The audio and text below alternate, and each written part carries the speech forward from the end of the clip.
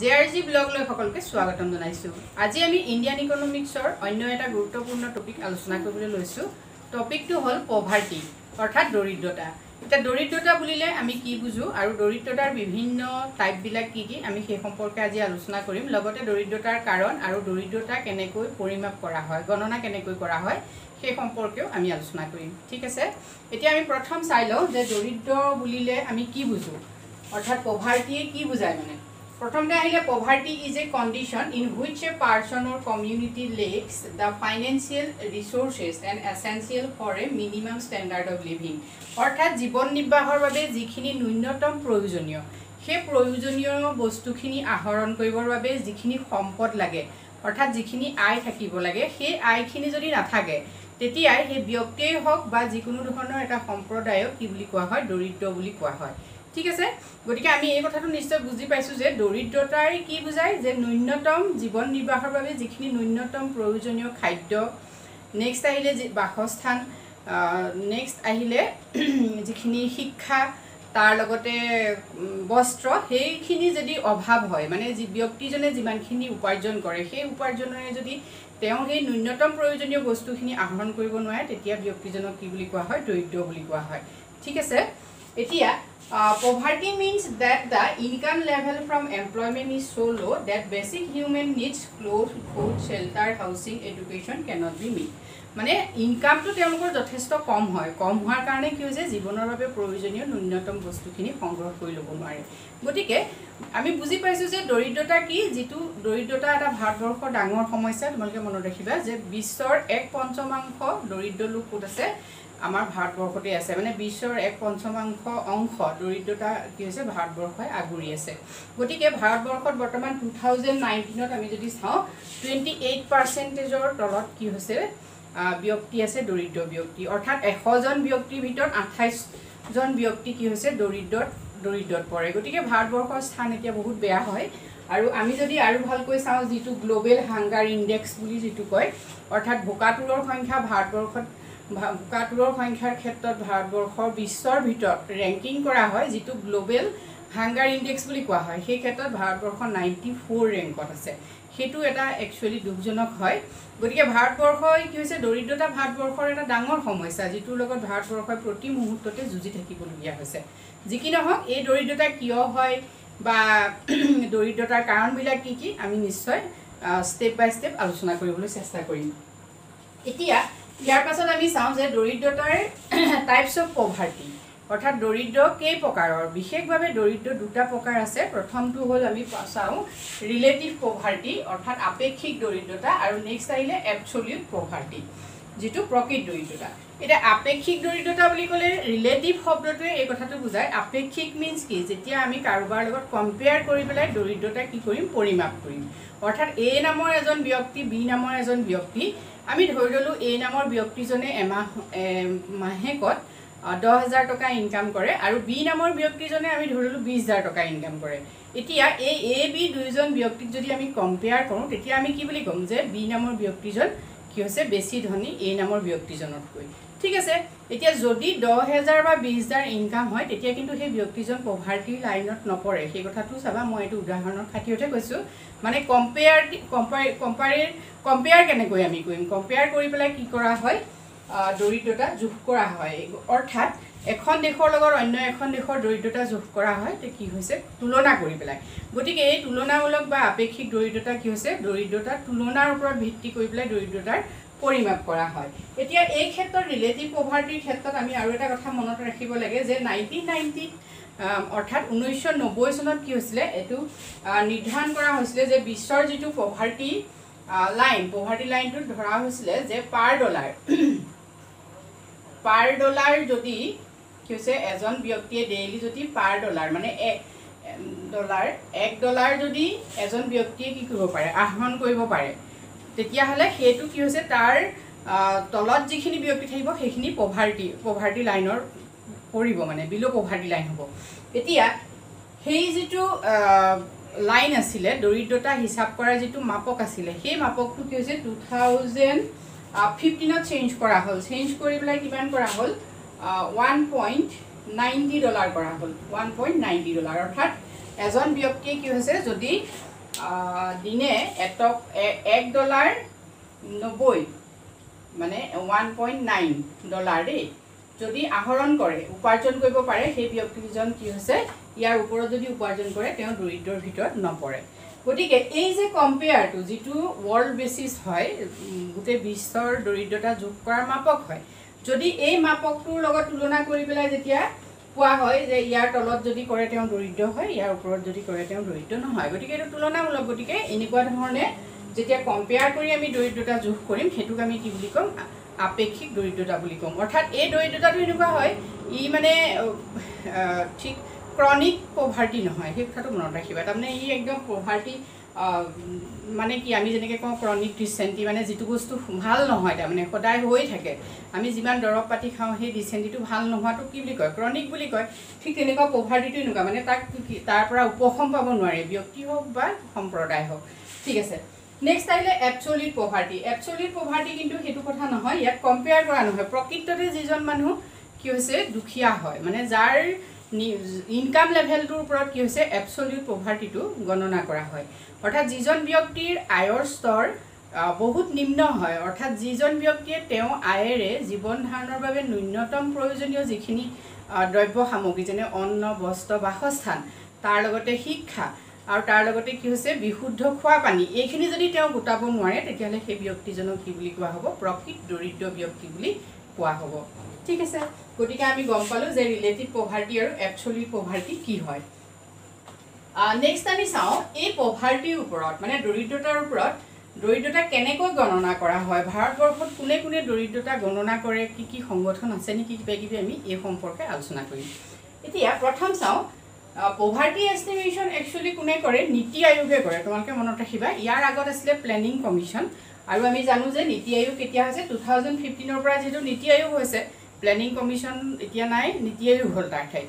গতিকে নীতি আয়োগৰ ফুল নীতি আয়োগৰ ফুল মিনিং তোমালোকে নিশ্চয় জানা national institution for transforming India two thousand fifteen মনত ৰাখিবা ট্ৰেন্সফৰ্মেশ্যন ইণ্ডিয়া দেই। গতিকে এই নীতি আয়োগে কি কৰে পভাৰ্টি এষ্টিমেশ্যন কৰে। আৰু কেনেকৈ কৰে যে যিটো আমাৰ নেশ্যনেল চেম্পুল ছাৰ্ভে যি ডাটা সংগ্ৰহ কৰে সেই নেশ্যনেল চেম্পুল ছাৰ্ভেৰ আণ্ডাৰত থকা সংগঠনে কি কৰে সেই ডাটাখিনি কেলকুলেশ্যন কৰে আৰু সেইটো নীতি আয়োগৰ পৰামৰ্শ মতে তেওঁলোকে কামখিনি কৰে। গতিকে পভাৰ্টিৰ ওপৰত যিটো ডাটা আমি পাম সেইটো নীতি আয়োগে যিটো ডাটা দিব সেইটোৱে হৈছে কি বিশুদ্ধ ডাটা ঠিক আছে? নেক্সট আহিলে poverty line estimation based on consumption in India সেই কথাটো এটা গুৰুত্বপূৰ্ণ। সেইটো পৰীক্ষাত বিভিন্ন ধৰণৰ পৰীক্ষাত আহে আৰু বহুত গুৰুত্বপূৰ্ণ হয় যে পভাৰ্টি লাইন যিটো এষ্টিমেশ্যন কৰা হয় অৰ্থাৎ দৰিদ্ৰতাৰ যিটো সীমাৰেখা সেই সীমাৰেখাটো কিহৰ ওপৰত বেচিছ কৰা হয় ভাৰতবৰ্ষত? কনজামশ্যনৰ ওপৰত। সেই কথা তোমালোকে মনত ৰাখিবা। যে ভাৰতবৰ্ষত কি হৈছে ইনকাম লেভেলৰ ওপৰত কি কৰা নহয় পভাৰ্টিটো এষ্টিমেশ্যন কৰা নহয়। কিহৰ ওপৰত? কনজামশ্যনৰ ওপৰত। অৰ্থাৎ উপভোগৰ ওপৰত। মানে ব্যক্তি কিমান উপভোগ কৰিছে তাৰ ওপৰত কি কৰা হয় ভিত্তি কৰি পভাৰ্টি লাইনটো এষ্টিমেট কৰা হয়। অ'কে নেক্সট আহিলে পভাৰ্টি ইঞ্চিডেঞ্চ মেজাৰ্ড কেনেকৈ কৰা হয়?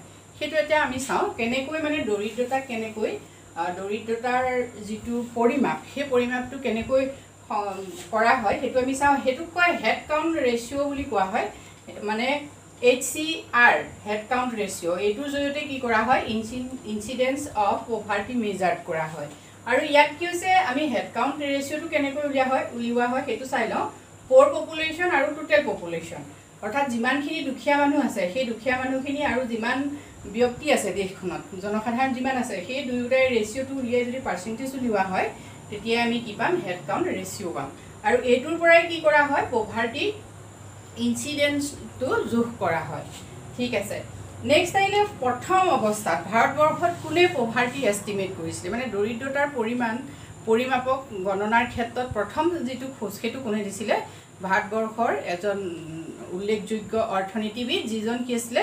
ব্ৰিটিছসকলে ভাৰতবৰ্ষ যেতিয়া আমাৰ আক্ৰমণ কৰি আছিলে ভাৰতবৰ্ষত উপনিৱেশ পাতি আছিলে তেতিয়াই সেইজন অৰ্থনীতিবিদ আছিলে দাদাভাই নৌৰাজী। আৰু তোমালোকে দাদাভাই নৌৰাজী ব্ৰেইন থিয়ৰী নিশ্চয় পঢ়িছা তেওঁৱেই কি আছিলে প্ৰথম প্ৰথম ভাৰতীয় অৰ্থনীতিবিদ যিজনে কি কৰিছিলে পভাৰ্টি এষ্টিমেট কৰিছিলে।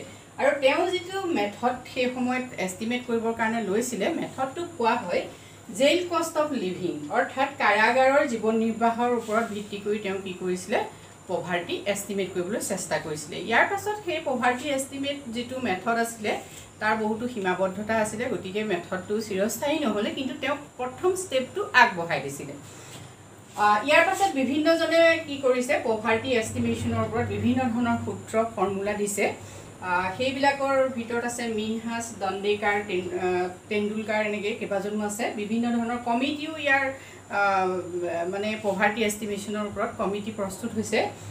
তাৰে ভিতৰত আলহা কমিটি যিখন আছিলে nineteen seventy nine Alagh committee এই কমিটিখনে কি কৰিছিলে পভাৰ্টি লাইনৰ পভাৰ্টি যিটো সীমাৰেখা মানে দৰিদ্ৰতাৰ সীমাৰেখাৰ ওপৰত এটা তেওঁলোকে খুব পপুলাৰ এটা তেওঁলোকে মেথড দিছিলে। বিশেষকৈ তেওঁলোকে এইটো কৈছিলে যে কেলৰিৰ ওপৰত ভিত্তি কৰি কি কৰা হৈছিলে পভাৰ্টি চিনাক্তকৰণ কৰা হৈছিলে। পভাৰ্টি কেলৰিটো কেনেকুৱা দিছিলে? ৰুৰেল এৰিয়াৰ ব্যক্তিসকলে মানে দিনে দুহেজাৰ চাৰিশ কেলৰি থকা খাদ্য খা যদি খাবলৈ পায় তেতিয়াহ'লে সেইজন ব্যক্তি তাৰ ওপৰত যিসকল থাকিব সেই ব্যক্তিসকল কি হৈছে? পভাৰ্টিৰ ভিতৰত নপৰিব। মানে তেওঁলোক দৰিদ্ৰ নহয়। আৰু আৰবান এৰিয়াৰ ব্যক্তিসকলৰ বাবে দিছিলে কেলৰি পৰিমাণটো কিমান? টু থাউজেণ্ড ওৱান হাণ্ড্ৰেড এই কথাটো এনেকুৱা যে যিসকল যিটো ৰুৰেল এৰিয়াত কি হয় সাধাৰণতে যিবিলাক আমাৰ গাঁও অঞ্চল বা অলপ পিছপৰা অঞ্চল সেই অঞ্চলৰ যিসকল ব্যক্তি থাকে তেওঁলোকে কি কৰিব লাগে? বহুত বেছি শাৰীৰিক পৰিশ্ৰম কৰিব লাগে। গতিকে শাৰীৰিক পৰিশ্ৰম কৰিবৰ বাবে তেখেতসকলক কি লাগে? বিশেষভাৱে কেলৰিৰ প্ৰয়োজন হয়। গতিকে যিজনে যিজনে কি হৈছে দুহেজাৰ চাৰিশৰ ওপৰত কেলৰি তেওঁলোকে উপভোগ কৰিছে প্ৰতিদিনৰ খাদ্যত সেইসকল কি হৈছে দৰিদ্ৰ লোক নহয়। তাৰপিছতে আৰবান অঞ্চলত যদি হয় তেওঁলোকৰ যিহেতু শাৰীৰিক পৰিশ্ৰম কম হয় গতিকে তেওঁলোকৰ কাৰণে কেলৰিটো ৰুৰেল এৰিয়াতকৈ কম হয়। তেওঁলোকে কিমান পাবে? কিমান পাব লাগে? প্ৰতিদিনে দুহেজাৰ এশ কেলৰি তেওঁলোকে কি হৈছে? থকা খাদ্য খাবলৈ পাব লাগিব। গতিকে এইটো আছিলে সেই সময়ৰ আলঘা কমিটিৰ পভাৰ্টি লাইনৰ বেছ কৰিছিলে এডাল্টৰ কাৰণে মনত ৰাখিবা। মানে যিসকল প্ৰাপ্তবয়স্ক ব্যক্তিসকলৰ কাৰণে এইটো নিৰ্ধাৰণ কৰা হৈছিলে। ইয়াৰ পাছত এখন উল্লেখযোগ্য কমিটি হ'ল সেইখন হ'ল ৰংগৰাজন কমিটি টু থাউজেণ্ড টুৱেণ্টিত যিখন কমিটি হৈছিলে। তেওঁলোকে টু থাউজেণ্ড ফিফটিনত যিটো পভাৰ্টি লাইনৰ কাৰণে তেওঁলোকে কি কৰিছিলে? মান্থলি পাৰ কেপিটা এক্সপেণ্ডিচাৰৰ ওপৰত ভিত্তি কৰি পভাৰ্টি এষ্টিমেশ্যন কৰিছিলে। অৰ্থাৎ মাহেকীয়া যিটো পাৰ কেপিটা এক্সপেণ্ডিচাৰ মানে প্ৰতিজনৰ কি হৈছে যিটো ব্যয় প্ৰতিজন ব্যক্তিৰ তাৰমানে। এতিয়া আৰবান এৰিয়াত কি হৈছে যদি ব্যক্তিসকলে আৰবান এৰিয়াৰ ব্যক্তিসকলে কি হৈছে one thousand four hundred seven rupees তেওঁলোকে কি কৰিব মাহেকে যদি খৰচ কৰিব পাৰে তেতিয়াহ'লে ইয়াৰ ওপৰত তাৰমানে সেইসকল ব্যক্তি কি হৈছে পভাৰ্টিৰ ভিতৰত নপৰিব মানে তেওঁলোক দৰিদ্ৰ লোক নহয়। অৰ্থাৎ যিসকল ব্যক্তিয়ে এহেজাৰ চাৰিশ সাতশ টকাৰ তলত কি হৈছে প্ৰতিদিনে খৰচ কৰিব যদি ব্যক্তিজন কি হৈছে নগৰ অঞ্চলৰ হয় তেতিয়াহ'লে তেওঁলোক কি হ'ব দৰিদ্ৰ হ'ব তলত কথাটো মন কৰিবা। আৰু ৰুৰেল এৰিয়াৰ সকলে কি হ'ব নশ বাসত্তৰ টকা মাহে কি হৈছে নশ বাসত্তৰ টকা যদি খৰচ কৰি তলত যদি খৰচ কৰে মানে নশ বাসত্তৰ টকাতকৈ যদি তেওঁলোকে বেছি খৰচেই কৰিব নোৱাৰে তেতিয়াহ'লে সেইজন মানুহক আমি কি বুলি ক'ম? দৰিদ্ৰ বুলি ক'ম। এতিয়া যদি মান্থলি পাৰ কেপিটা এক্সপেণ্ডিচাৰটো ইয়াতো চাবা দেই এক্সপেণ্ডিচাৰকহে কোৱা হৈছে ইনকাম কোৱা হোৱা নাই। এতিয়া যদি মাহিলী ইমান হয় টকাটো মানে এহেজাৰ চাৰিশ সাত নশ বাসত্তৰ হয় তেতিয়াহ'লে পাৰ ডে তেওঁলোকে কিমান কৰিব তোমালোকে উলিয়াবা বত্ৰিছ টকা কিছুমান মানে যিটো এওঁলোকৰ হ'ব বত্ৰিছ টকা ৰুৰেল এৰিয়াৰ মানে প্ৰতিদিনে বত্ৰিছ টকা যদি আহৰণ কৰে তেতিয়া কি হৈছে? ৰুৰেল এৰিয়াৰ মানুহজন কি হ'ব? আৰু যদি বত্ৰিছ টকা পায় তাৰ বত্ৰিছ টকাৰ যিটো তলত হ'ব তেতিয়া যদি হয় তেতিয়াহ'লে সেই মানুহজন কি হ'ব? দৰিদ্ৰ হ'ব। ঠিক আছে। তেনেকৈ আৰবানৰটো ডেইলি কিমান হ'ব? তোমালোকে হিচাপটো কৰি উলিয়াবাচোন। ঠিক আছে। গতিকে এইখিনি আমি নিশ্চয় গম পাইছোঁ যে কেনেকৈ এষ্টিমেশ্যন কৰে। যিহেতু পভাৰ্টি এষ্টিমেশ্যনটো কি হৈছে দিনে দিনে এটা এটা নতুন পলিচি বা এটা সু- বিশুদ্ধ পৰিমাপক উলিয়াবলৈ কি কৰা হৈছে চেষ্টা কৰি থকা হৈছে। এতিয়া বৰ্তমান অৱস্থাত পি পি পি যিটো ছিষ্টেম হয় সেই ছিষ্টেমত কি কৰা হয় পভাৰ্টি এষ্টিমেট কৰা হয়। সেই সম্পৰ্কে আমি পাছত আলোচনা কৰিম। এতিয়া আমি আজি আলোচনা কৰোঁ ইয়াৰ পাছত যে কজেজ অফ পভাৰ্টি মানে দৰিদ্ৰতাৰ কাৰণসমূহ কি কি। Causes of poverty in India এতিয়া ভাৰতবৰ্ষত দৰিদ্ৰতাৰ কাৰণসমূহ কি কি? আমি প্ৰথমেই চাওঁ যে পপুলেশ্যন এক্সপ্ল'জন অৰ্থাৎ জনবিস্ফোৰণ। এতিয়া আমি এই কথাটো নক'লেও হ'ব যে বিশ্বৰ ভিতৰত ভাৰতবৰ্ষ জনসংখ্যাৰ ক্ষেত্ৰত দ্বিতীয় বৃহত্তম দেশ। আৰু দুহেজাৰ পঞ্চাছ চনৰ ভিতৰত কি হৈছে ভাৰতবৰ্ষ হয়তো বিশ্বৰ ভিতৰতে সৰ্বোচ্চ জনতা জনসংখ্যা থকা দেশ হ'ব পাৰে। মানে চাইনাক অতিক্ৰম কৰি যাব পাৰে বুলি কোৱা হৈছে। যিহেতু ভাৰতবৰ্ষত কি হৈছে এতিয়া যদি আমি লক্ষ্য কৰোঁ বা ডাটা চাওঁ টু পইণ্ট টু পাৰ্চেণ্টেজৰ ওপৰত কি হৈছে ভাৰতৰ জনসংখ্যা বৃদ্ধি এতিয়াও হৈ আছে প্ৰতি বছৰ। গতিকে যদি এইটো হৈ থাকে তেতিয়াহ'লে ভাৰতবৰ্ষত কি হৈছে জনসংখ্যা আৰু বহুত বেছি হ'ব। গতিকে ভাৰতবৰ্ষত জনসংখ্যা বৃদ্ধি হোৱাৰ বাবেই কি হৈছে ভাৰতবৰ্ষৰ এখন দৰিদ্ৰ দেশ হিচাপে চিনাক্ত হৈছে বা দৰিদ্ৰতাৰ পৰিমাণ বৃদ্ধি হোৱাৰ অন্তৰালৰ কথাটো হ'ল যে জনসংখ্যা বৃদ্ধি। যিহেতু জনসংখ্যা যিমানে বাঢ়ি গৈ থাকিব সিমানেই কি হ'ব? বিশেষকৈ ভূমি যিহেতু বাঢ়ি নাযায় আমি সকলোৱে জানো যে জনসংখ্যা বাঢ়িব মানুহ বেছি হৈ গৈ থাকিব কিন্তু মানুহবিলাকক থাকিবলৈ ঠাই লাগিব। প্ৰথম কথাই হ'ল কৃষিভূমি কমি যাব প্ৰথম কথাটো। যিহেতু মানুহে খেতি কৰিবৰ বাবে যিবিলাক জেগা থাকিব সেইবিলাকত মানুহৰ বাসস্থান গঢ়ি উঠিব। গতিকে তেনেকুৱা ধৰণে কি হৈছে ভূমি কম হৈ যোৱাৰ লগে লগে উৎপাদন কম হ'ব আৰু তেতিয়াই কি হৈছে লাহে লাহে দৰিদ্ৰতাৰ সংখ্যাটো বৃদ্ধি হৈ গৈ থাকিব। আৰু বিভিন্ন কাৰণ আছে কিন্তু আমি এটা তাৎক্ষণিকভাৱে ক'ব পাৰোঁ। নেক্সট আহিলে ল' এগ্ৰিকালচাৰেল প্ৰডাক্টিভিটি যিবিলাক ভাৰতবৰ্ষৰ যি এগ্ৰিকালচাৰেল প্ৰডাক্টিভিটি অৰ্থাৎ যিবিলাক কৃষিৰ যি উৎপাদনশীলতা সেই কৃষিৰ উৎপাদনশীলতা ক্ৰমান্বয়ে হ্ৰাস পাই অহাৰ কাৰণেও কি হৈছে ভাৰতবৰ্ষত দৰিদ্ৰতাৰ পৰিমাণ বৃদ্ধি হৈছে।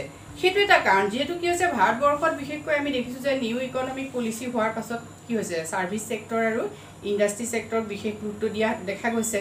গতিকে ছাৰ্ভিচ ছেক্টৰ আৰু ইণ্ডাষ্ট্ৰি ছেক্টৰক গুৰুত্ব দিয়াৰ লগে লগে এগ্ৰিকালচাৰ ছেক্টৰটোক ইয়াত কি হৈছে কম গুৰুত্ব দিয়া হৈছে। ইয়াৰ আগতে আকৌ কি হৈছিলে যেতিয়া ব্ৰিটিছসকলে উপনিৱেশ প্ৰতিষ্ঠা কৰি আছিলে তেতিয়াও ভাৰতবৰ্ষত দেখা গৈছিলে তেওঁলোকৰ যি শোষণ আছিলে। সেই শোষণৰ ফলস্বৰূপেও খেতিয়কসকলে বেছিকৈ কি হৈছে নিষ্পেষিত হ'ব লগা হৈছিলে ব্ৰিটিছসকলৰ দ্বাৰা। আৰু বিভিন্ন ক্ষেত্ৰত যদি আমি ভালকৈ চাওঁ ল' এগ্ৰিকালচাৰেল প্ৰডাক্টিভিটি আমি দেখিবলৈ পাম যিহেতু উৎপাদনশীলতা মানে কৃষিৰ উৎপাদনশীলতা হ্ৰাস হৈ অহাৰ আৰু বহুত কাৰণ আছে। সেইবিলাক হৈছে যে বিজ্ঞানসন্মতভাৱে কি হৈছে কৃষি ক্ষেত্ৰত কোনো ধৰণৰ আঁচনি নাই বা উন্নত ফচল নাই বীজ নাই গতিকে এনেকুৱা ধৰণৰ বিভিন্ন ধৰণৰ কজ আছে যিবিলাকৰ কাৰণে কি হৈছে উৎপাদনশীলতা হ্ৰাস পাইছে। আৰু আমি এইটো কথা জানো যে ভাৰতবৰ্ষৰ বৃহৎ সংখ্যক ব্যক্তি এতিয়াও এতিয়াও কি আছে ফিফটি ছেভেনৰ ওপৰত কি হৈছে ভাৰতৰ জনসাধাৰণ কৃষিৰ লগত জড়িত হৈ আছে। গতিকে ফিফটি পাৰ্চেণ্ট আমি ধৰি ল'লোঁ ফিফটি পাৰ্চেণ্টৰ ওপৰত থকা ব্যক্তি যদি ওপৰৰ কি হৈছে জনসাধাৰণ যিটো ছেক্টৰৰ লগত জড়িত সেই ছেক্টৰটোৰ কি হৈছে কিন্তু উৎপাদনশীলতা আচৰিতভাৱে কম হয়।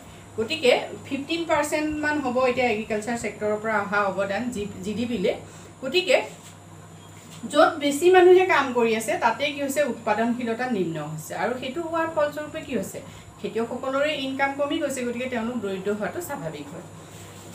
নেক্সট আহিলে ইনএফিচিয়েণ্ট ৰিচোৰ্চেছ ৰিচোৰ্চ ইউটিলাইজেশ্যন অৰ্থাৎ যিবিলাক দেশখনত যিবিলাক কি আছে ৰিচোৰ্চ আছে সম্পদ আছে সেই সম্পদবিলাকক যেনেদৰে ব্যৱহাৰ কৰিব লাগে সেই ব্যৱহাৰটো কি হৈছে ইয়াত হোৱা নাই অৰ্থাৎ অপব্যৱহাৰ হৈছে। এতিয়া কেনেকৈ হৈছে আমি চাওঁ জনসাধ আমি যদি যিহেতু আমি জানো হিউমেন কি হৈছে হিউমেন কেপিটেল হয় যিহেতু মানৱ সম্পদ মানুহ কি হৈছে সম্পদ হয়। এতিয়া এই মানৱ সম্পদক সম্পদ কেনেকৈ আমি যদি ভালকৈ লক্ষ্য কৰোঁ কৃষি ক্ষেত্ৰতে কি হৈছে? ছদ্মবেশী নিবনুৱা সোমাই থাকে। য'ত কি হৈছে দহজন শ্ৰমিক লাগে তাত আমি যদি ভালকৈ লক্ষ্য কৰোঁ পঞ্চাছজন শ্ৰমিক সোমাই থাকে। গতিকে যিটো কাম দহজনে কৰিলেও হয় তাত পঞ্চাছজনে কৰিলে কি হ'ব? যি নিশ্চয় মজুৰিটো কম হ'ব ইনকাম কম হ'ব আৰু ইনকাম কম হ'লে কি হৈছে? ব্যক্তিজন দৰিদ্ৰ হ'ব। গতিকে এনেধৰণে সম্পদৰ যি ব্যৱহাৰ হ'ব লাগে দক্ষ ব্যৱহাৰ হ'ব লাগে সেই দক্ষ ব্যৱহাৰ হোৱা নাই যাৰ ফলস্বৰূপে কি হৈছে দৰিদ্ৰতা ভাৰতবৰ্ষত অন্য এটা মানে অন্তৰায় হৈ পৰিছে উন্নয়নৰ অন্য এটা অন্তৰায় হৈ দেখা দিছে। নেক্সট আহিলে ল' ৰেট অফ ইকনমিক ডেভেলপমেণ্ট মানে অৰ্থনৈতিক যিটো বিকাশ অৰ্থনীতিৰ বিকাশ সাধন কেনেকৈ হ'ব? যদি অৰ্থনীতিখনত কি হৈছে কেপিটেল ফৰ্মেশ্যন নহয় মূলধন গঠন নহয় আৰু উৎপাদন বৃদ্ধি নহয় ইনকাম জেনেৰেট নহয় মানে আয় যদি সৃষ্টি নহয় তেতিয়াহ'লে কেনেকৈ অৰ্থনীতি এখনৰ বিকাশ হ'ব? গতিকে আমাৰ ভাৰতবৰ্ষৰ যি অৰ্থনীতি সেই অৰ্থনীতিৰ যিটো আন্তঃগাঁথনি সেই আন্তঃগাঁথনি বহুত দুৰ্বল হয় আৰু যাৰ ফলস্বৰূপ ফলস্বৰূপে কি হৈছে ভাৰতবৰ্ষত যিটো অৰ্থনৈতিক বিকাশ সেই অৰ্থনৈতিক বিকাশটো সম্ভৱ হোৱা নাই। যিখিনি হৈছে নাইনটিন নাইণ্টিৰ পাছত অৰ্থাৎ নিউ ইকনমিক পলিচিৰ পাছত নাইনটিন নাইণ্টি ওৱান ওৱানৰ পাছৰ যি নিউ ইকনমিক পলিচি মানে নতুন অৰ্থনৈতিক নীতিৰ পাছত ভাৰতবৰ্ষৰ নিশ্চয় অৰ্থনৈতিক উন্নয়ন হৈছে নোহোৱাকৈ থকা নাই কিন্তু ইয়াত কি হৈছে যেনেদৰে সমানে হ'ব লাগে হোৱা নাই। ঠিক আছে? নেক্সট আহিলে প্ৰাইচ ৰাইজ যেতিয়া বৃদ্ধি হয় দেশ এখনত কি হৈছে ইনফ্লেশ্যন হয় অৰ্থাৎ মুদ্ৰা মুদ্ৰাস্ফীতিয়ে দেখা দিয়ে। এতিয়া মুদ্ৰাস্ফীতি যদি হয় তেতিয়া কি হয়? সাধাৰণতে যিসকল মজু মজুৰি যিসকলে পায় সেই মজুৰি হাৰ যিহেতু বৃদ্ধি নহয় গতিকে দ্ৰব্যৰ দাম বৃদ্ধি হৈ গ'লে কি হয় যিটো মজুৰি হাৰে যিখিনি বস্তু ক্ৰয় কৰে তাৰ পৰিমাণটো কমি যায়। গতিকে মুদ্ৰাৰ মূল্য হ্ৰাস পোৱা মিনছ কি হৈছে? মুদ্ৰাস্ফীতি আৰু মুদ্ৰাস্ফীতিয়ে দেখা দিয়াৰ ফলস্বৰূপে কি হৈছে? ভাৰতৰ দৰিদ্ৰতাৰ পৰিমাণ বৃদ্ধি হৈছে। অৰ্থাৎ দিনে দিনে দ্ৰব্য সামগ্ৰীৰ দাম বাঢ়ি গৈছে। কিন্তু সেই অনুপাতে মানুহৰ যি ইনকাম সেই ইনকামটো বৃদ্ধি হোৱা নাই। গতিকে সেইটো কাৰণে কি হৈছে? দৰিদ্ৰতা হাৰ বৃদ্ধি হোৱা দেখা গৈছে। নেক্সট আহিলে আনএমপ্লয়মেণ্ট যিহেতু যদি নিবনুৱা থাকে অৰ্থনীতি এখনত যদি নিবনুৱাৰ পৰিমাণ বেছি থাকে তেতিয়াহ'লে কি হৈছে? অৰ্থনীতিখনত কেতিয়াও দৰিদ্ৰতাৰ সমস্যাই অৰ্থনীতিখনৰ পৰা কেতিয়াও নাযায়। যিহেতু নিবনুৱা সমস্যা সমাধান হ'ব লাগিব অৰ্থাৎ যিসকল উপযুক্ত মানৱ সম্পদ থাকে সেই মানৱ সম্পদখিনিক কি হৈছে? সম্পূৰ্ণভাৱে নিয়োগ কৰিব পাৰিব লাগিব অৰ্থাৎ ফুল এমপ্লয়মেণ্ট মানে যিটো পূৰ্ণ নিয়োগ থাকিব লাগিব। পূৰ্ণ নিয়োগ থাকিলেহে কি হৈছে? দেশখনে দৰিদ্ৰতাৰ সমস্যাৰ পৰা ৰক্ষা পাব। যিহেতু দৰিদ্ৰতা যিমানে আনএমপ্লয়মেণ্ট হোৱা মিনছ কি তেওঁলোকৰ ইনকাম নাথাকিব ইনকাম নাথাকিলে তেওঁলোক দৰিদ্ৰ হ'ব। ঠিক আছে? নেক্সটটো আহিলে lack of capital and entrepreneurship অৰ্থাৎ ভাৰতবৰ্ষত সাধাৰণতে কি হয় বিশেষভাৱে অভাৱ হয়। মূলধনৰ অভাৱ আছে উদ্যোগীৰ অভাৱ আছে। গতিকে বৃহৎ বৃহৎ উদ্যোগ প্ৰতিষ্ঠা কৰিবলৈ যদি ভাৰতবৰ্ষত উদ্যোগী নাথাকে মূলধন নাথাকে তেতিয়াহ'লে কি হৈছে? কেনেকৈ প্ৰডাকশ্যন কেনেকৈ বৃদ্ধি হ'ব আৰু আয় কেনেকৈ বৃদ্ধি হ'ব? যেতিয়া প্ৰডাকশ্যন বৃদ্ধি হ'ব তেতিয়াহে কি হৈছে ইনকাম জেনেৰেট হ'ব। গতিকে সেই কণ্ডিশ্যনটোৰ কাৰণে আমাক কি লাগিব? কেপিটেল লাগিব আৰু এণ্ট্ৰিপ্ৰিনিয়ৰশ্বিপ লাগিব। গতিকে কেপিটেলৰো অভাৱ ভাৰতবৰ্ষত এণ্ট্ৰিপ্ৰিনিয়ৰশ্বিপৰো অভাৱ। যিটোৰ ফলস্বৰূপে ভাৰতত কি হৈছে দৰিদ্ৰতাৰ পৰা ভাৰতবৰ্ষই হাত সাৰিব পৰা নাই। নেক্সট আহিলে ছ'চিয়েল ফেক্টৰ্ছ কিছুমান সামাজিক কাৰণ আছে যিবোৰৰ কাৰণে কি হৈছে দৰিদ্ৰতা বৃদ্ধি হোৱা দেখা যায়। সামাজিক কাৰণ কিছুমান কাষ্ট ছিষ্টেমৰ ক্ষেত্ৰত দেখা যায় যে সকলোৱে সকলো কি হৈছে ব্যৱসায় কৰিব নোৱাৰে। বিভিন্ন ধৰণৰ কিছুমান ইগ' প্ৰব্লেম আছে ছ'চিয়েল ষ্টেটাছৰ কাৰণে। গতিকে তেনেকুৱা ধৰণৰ বিভিন্ন সামাজিক কাৰণৰ কাৰণে কি হৈছে ভাৰতবৰ্ষত দৰিদ্ৰতা বৃদ্ধি হোৱা দেখা গৈছে বা দৰিদ্ৰতাৰ অন্য এটা কাৰণ হয়। নেক্সট আহিলে কলনিয়েল এক্সপ্লয়টেশ্যন যিবোৰ উপনিৱেশিক যি শোষণ আছিলে সেই শোষণেও একচুৱেলি ভাৰতবৰ্ষক আজিৰ তাৰিখলৈকে দৰিদ্ৰ কৰি ৰাখিছে। সেই সময়ত যেতিয়া ব্ৰিটিছসকলে ভাৰতবৰ্ষ শোষণ কৰি আছিলে ভাৰতবৰ্ষক তেওঁলোকে কি কৰিছিলে উপনিৱেশ প্ৰতিষ্ঠা কৰি আছিলে সেই সময়ত ব্ৰিটিছসকলে ভাৰতৰ অৰ্থনীতিক এনেকুৱা ধৰণে শোষণ কৰিছিলে ভাৰতৰ অৰ্থনীতিৰ যিটো পৰিকাঠামো সেই কাঠামোক এনেকুৱা ধৰণে ভাঙি পেলাইছিলে যে ভাৰতবৰ্ষ এতিয়াও সেই তেওঁলোকৰ নিষ্পেষণৰ পৰা মূৰ দাঙি উঠিব পৰা নাই। যিটো ফলস্বৰূপে ভাৰতবৰ্ষৰ দৰিদ্ৰতা এটা অন্যতম কাৰণ হৈছে ভাৰতৰ অৰ্থনীতিৰ দৰিদ্ৰতা অন্যতম কাৰণ। নেক্সট আহিলে ক্লাইমেটিক ফেক্টৰ কিছুমান জলবায়ুজনিত উপাদান যিটো আছে ক্লাইমেটিক যি যিটো অৱস্থা মানে এনেকুৱা হয় যে ভাৰতবৰ্ষৰ বিভিন্ন ৰাজ্য আছে। বিহাৰৰ দৰে আমি ক'ব পাৰোঁ উত্তৰ প্ৰদেশ বিহাৰ অন্ধ্ৰপ্ৰদেশ তেনেকুৱা ধৰণৰ বিভিন্ন ঠাই আমাৰ ৰাজ্য আছে অসমো ঠিক আমি ক'ব পাৰোঁ।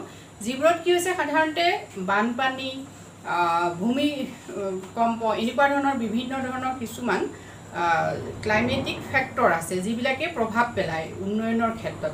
গতিকে সেই ধৰণৰ হোৱাৰ কাৰণেও কি হৈছে ভাৰতবৰ্ষত বিশেষভাৱে দৰিদ্ৰতা দেখা যায়। তাৰমানে ভাৰতৰ প্ৰতিখন ৰাজ্যই সমানে উন্নতি কৰিব নোৱাৰে। ক'ৰবাত পানীৰ অভাৱ খেতি কৰিবলৈ ক'ৰবাত আকৌ কি হৈছে ভূমি ভূমিৰ আমি দেখিছোঁ যে কিছুমান পাহাৰীয়া ঠাই আছে। গতিকে পাহাৰীয়া ঠাইত খেতিৰ কাৰণে অসুবিধা হয় এনেকুৱা ধৰণৰ বিভিন্ন সমস্যা আছে। গতিকে আমি আৰু বহুত সমস্যা আলোচনা কৰিব পাৰোঁ কিন্তু আমি থাকোঁতে এইখিনি সমস্যাই আলোচনা কৰিছোঁ। নেক্সট আমি এটা ইণ্টাৰেষ্টিং টপিক চাম সেইটো হ'ল কি পভাৰ্টি ট্ৰেপ অৰ্থাৎ দৰিদ্ৰতাৰ ফান কি? কেনেকৈ মানে দেশ এখন দৰিদ্ৰ কেনেকৈ হৈ গৈ থাকে দৰিদ্ৰতাৰ ফাণ্ডত কেনেকৈ ভৰি দিয়ে সেই সম্পৰ্কে আমি নেক্সট আলোচনা কৰিছোঁ। পভাৰ্টি ট্ৰেপ মানে দৰিদ্ৰতাৰ ফাণ্ড কি? দৰিদ্ৰতা কেনেকৈ দেশখন দৰিদ্ৰতাৰ ফাণ্ডত ভৰি দিয়ে? আমি প্ৰথমতে চাই লওঁ। গ্ৰ'থ এণ্ড ডেভেলপমেণ্ট আমি দেখিলোঁ গ্ৰ'থ আৰু ডেভেলপমেণ্ট কেতিয়া হয়? আমি প্ৰথম এইটো চাওঁ। এতিয়া ল' লেভেল অফ এডুকেশ্যন যদি দেশ এখনত কি হৈছে? শিক্ষাৰ ক্ষেত্ৰত লেভেলটো যিটো একেবাৰে তাৰমানে পৰিমাণটো কম হয় নিম্ন হয় ল' লেভেল হয় এডুকেশ্যনৰ ক্ষেত্ৰত তেতিয়াহ'লে কি হ'ব? ল' লেভেল অফ হিউমেন কেপিটেল অৰ্থাৎ যদি শিক্ষা ব্যৱস্থা উন্নত নহয় তেতিয়াহ'লে কি হ'ব? দেশখনত মানৱ সম্পদ দক্ষ নহয় মানৱ সম্পদৰ গঠন নহয়। গতিকে মানৱ সম্পদ যদি বিকাশ নহয় ল' লেভেল হয় মানৱ সম্পদৰ তেতিয়াহ'লে কি হৈছে? দেশখনত কি হ'ব? ল' প্ৰডাক্টিভিটি হ'ব। অৰ্থাৎ যদি যিসকল কৰ্মী হয় দক্ষ নহয় তেওঁলোকৰ পৰা যিটো পাব লাগে উৎপাদনশীলতা সেই উৎপাদনশীলতাৰ অভাৱ হ'ব। আৰু যদি ল' লেভেল প্ৰডাক্টিভিটি হয় ল' প্ৰডাক্টিভিটি আমাক কি দেখুৱাব? ল' ইনকাম দেখুৱাব। ল' ইনকাম মিনছ কি? যদি ইনকাম কম হয় তেতিয়া কি হৈছে? পভাৰ্টিয়ে দেখা দিব। নেক্সট আমি গ্ৰ'থৰ ক্ষেত্ৰত চাওঁ। ল' ইকনমিক গ্ৰ'থ যদি হয় দেশ এখনত যেনিবা ইকনমিক গ্ৰ'থটো মানে অৰ্থনৈতিক কি হৈছে উন্নয়ন বহুত কম হ'ল নিম্ন হ'ল তেতিয়া কি হৈছে? ল' ইনকাম হ'ব। ইনকামটো হ্ৰাস হ'ব। ইনকাম হ্ৰাস হোৱাৰ লগে লগে কি হৈছে? ল' ছেভিং হ'ব। যদি ইনকামেই নহয় মানে নিম্ন পৰিমাণৰ যদি আয় হয় তেতিয়াহ'লে সঞ্চয় মানুহে ক'ৰ পৰা কৰিব? সঞ্চয় কম হ'ব। আৰু সঞ্চয় কম হ'লে কি হ'ব? ল' ইনভেষ্টমেণ্ট হ'ব। অৰ্থাৎ নিম্ন পৰিমাণৰ কি হৈছে? বিনিয়োগ হ'ব। নিম্ন পৰিমাণৰ বিনিয়োগ হোৱা মিনছ কি? ল' ইকনমিক গ্ৰ'থ আমি দেখিছোঁ যে কেনেকৈ ইটোৰ লগত সিটো কেনেকৈ জড়িত আমি চাওঁ। ল' লেভেল অফ এডুকেশ্যন অৰ্থাৎ যদি শিক্ষা ব্যৱস্থা উন্নত নহয় তেতিয়াও কি হৈছে? দেশখনে দেশখনৰ পৰা নিবনুৱা সমস্যা বা এই দৰিদ্ৰতাৰ সমস্যা কি কৰিব নোৱাৰে? দেশ আঁতৰাব নোৱাৰে। ঠিক তেনেকৈ যদি ইকনমিক ল' ইকনমিক গ্ৰ'থ হয় তেতিয়া ল' লেভেল অফ এডুকেশ্যন হ'লে মানে ল' ইকনমিক গ্ৰ'থ হ'ব। গতিকে ইটোৰ লগত সিটো ৰিলেটেড আৰু এনেকৈয়ে কি হৈছে দেশ এখনে দৰিদ্ৰতাৰ যিটো পাক চক্ৰ সেই পাক চক্ৰত ভৰি দিবলগীয়া হয়। গতিকে আজিলৈ ইমানেই। ধন্যবাদ।